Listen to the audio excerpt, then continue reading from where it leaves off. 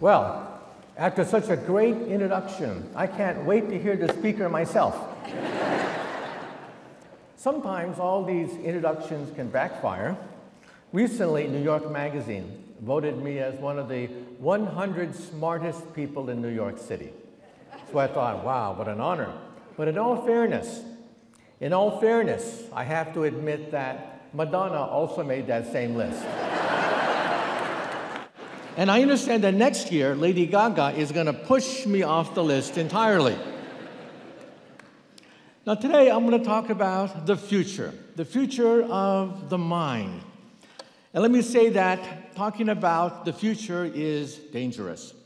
Let me quote from that great philosopher of the Western world, Yogi Berra. Yogi Berra once said, quote, prediction is awfully hard to do, especially if it's about the future. well, I'm a physicist we can predict the future of the universe billions of years into the future. So let me quote from that other great philosopher, Woody Allen. He once said, quote, eternity is an awful long time, especially toward the end. Well, you may say to yourself, what does a physicist know about the mind? What does a physicist know about daily life? Well, we are the ones who invented the transistor. We invented the laser. We helped to assemble the first computer and the internet. We wrote the World Wide Web. And along the way, we invented television. We invented radio, radar, microwaves, x ray machines. And don't forget, we created the space program and the GPS satellite. And we physicists love to make predictions. When we helped to assemble the internet, one physicist predicted that the internet would become a forum of high culture, high art, and high society. Well, today we know that 5% of the internet is pornography. But that's because teenage boys log on to the internet. Just wait until the grandmas and grandpas log on to the internet, then 50% of the internet will be pornography. and again, you may say to yourself, well, how does physics differ from chemistry or the other sciences? Well, let me tell you a little story. During World War II, once the Nazis captured a bunch of American scientists, and they called them spies, spies. And so they were about to be executed by firing squad. There was a geologist, a physicist, and a chemist about to be shot by the firing squad by the Nazis. Well, they lined them up. And then, just as they were about to push the trigger, all of a sudden, the geologist says, Earthquake! Earthquake! Well, chaos broke out. And then, in the chaos, the geologist snuck away. Well, now it was just the physicist and the chemist. They were lined up in the firing squad. And then suddenly the physicist said, Lightning, lightning. Well, in the chaos, the physicist sneaks away. Now it's just the chemist. So they line up the rifles, and all of a sudden the chemist says, Fire, fire.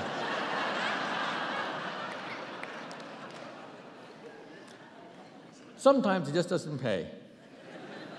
so, anyway, today I'm going to talk about the future of the mind. Ever since I was a child, I've been fascinated by two things.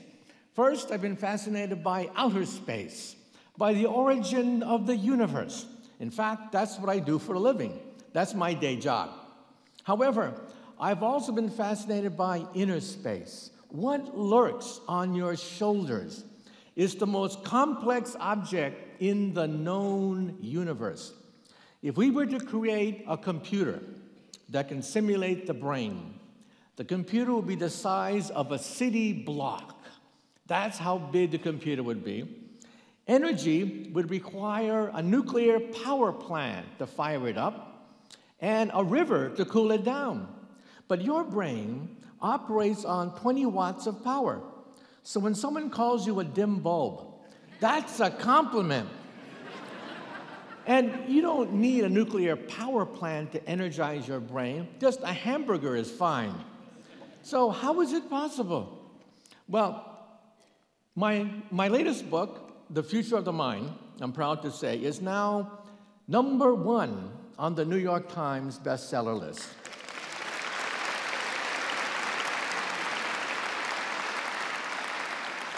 So I'm not the only one fascinated by the mind because the book is now the number one hardcover book in the United States.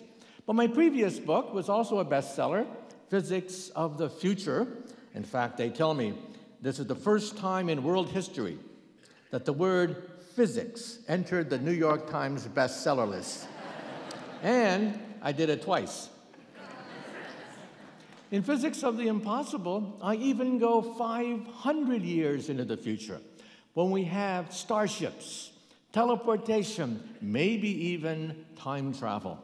And I answer the question what happens if you go into a time machine?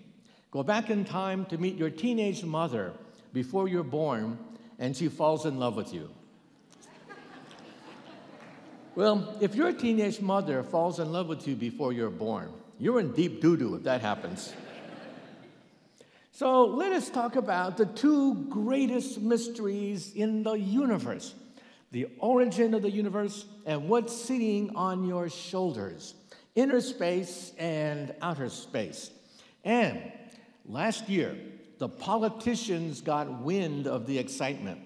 We've learned more in the last five to 10 years about the mind than in all of human history combined. President Barack Obama last year got wind of this and in his State of the Union address announced the BRAIN Initiative. Just like the Human Genome Project changed the course of medicine, giving us a disc with all our genes on it, Obama announced the BRAIN Initiative with the Europeans. $1 billion, that's billion with a B, not an M, will be devoted to creating a map, a map of the brain. Just think of it. We will have the genome and the connectome, all the neural connections of the mind on a disk. The short term goal is to cure mental illness. Mental illness has been with us since biblical times. Even the Bible mentions mental illness. But if we have the connectome and we have the genome on two disks, then in some sense, if you die, you live forever. You live forever in some sense because your personality, your memories, your wants and desires are coded inside a disk. So when I was a kid, I was fascinated by telepathy reading minds, telekinesis, moving objects with the mind, recording memories, uploading memories, photographing a dream. Believe it or not, we can do all of the above. And you will see that in today's slideshow. But when I was a kid, I used to try to read people's minds. I tried real hard to move objects with the mind.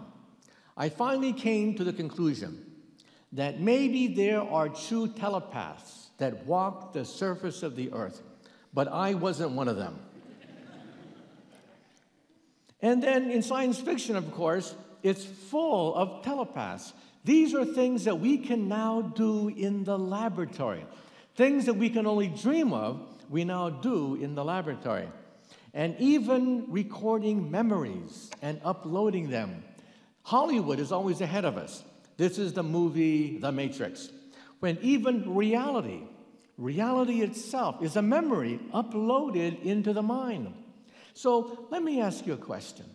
Late at night, just before you go to sleep, late at night, have you ever had that weird sensation that maybe, maybe life is an illusion? Maybe it's just a memory.